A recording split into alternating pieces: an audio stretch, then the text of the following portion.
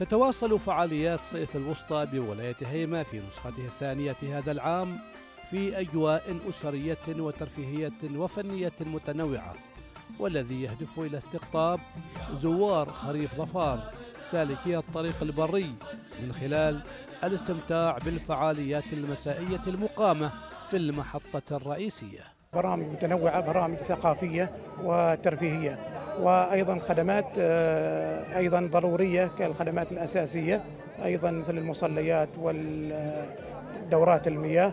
بالنسبة للبرامج الترفيهية كبرامج المسرح هناك ستكون آه، برامج تتصل بالأطفال وأيضا بكبار السن وأيضا برامج ثقافية للزوار. وأيضا هنا عندنا ركن للبادية وتج- وتجسيد لنمط الحياة في محافظة آه، الوسطى. إبراز المواقع السياحية والتعريف بالمقومات الطبيعية والأثرية والتاريخية لسلطنة عمان ومحافظة الوسطى وتقديم المعلومات للزوار الذي يقدمها مركز المعلومات بوزارة التراث والسياحة إلى جانب محاكاة لمحمية المه العربية وأنواع الحياة الفطرية في هذه المحمية والجهود المبذولة للحفاظ عليها أبرز المحطات التي يتوقف معها الزائر في هذه الفعاليات.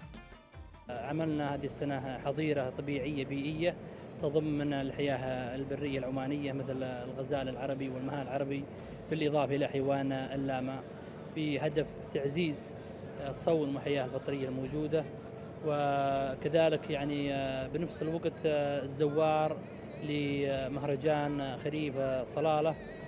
يعني نتسع لهم المجال أكبر أو يعني بمعنى آخر نقرب نقرب لهم المحمية إلى هذه المحافظة. شارك بركن تفاعل سياحي بالإضافة إلى مركز معلومات سياحية يقدم آه، خدمات سياحية للسياح القادمين من آه، مسقط ومن آه، المحافظات الشمالية وأيضا السياح الدوليين القادمين دول الخليج العربية.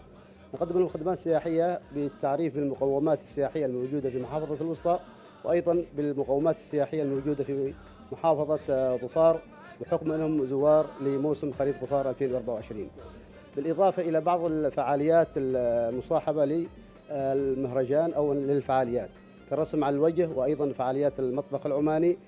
برامج وأمسيات متنوعة وعروض وفنون تراثية من المحافظة شهدت حضورا وتفاعلا من الزوار. إلى جانب الحركة السياحية والترفيهية فإن صيف الوسطى يعد رافدا اقتصاديا وتجاريا جيدا. محمد بن سعيد العلوي من ولاية هيمة بمحافظة الوسطى.